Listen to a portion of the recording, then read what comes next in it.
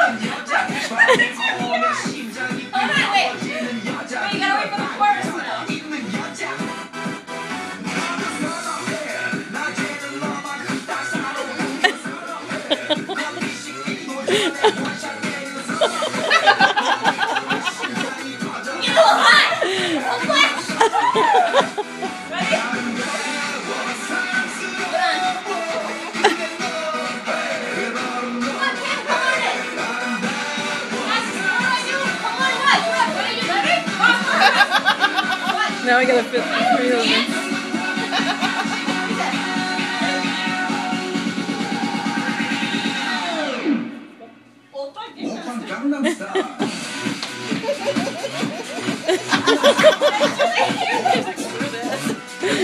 them.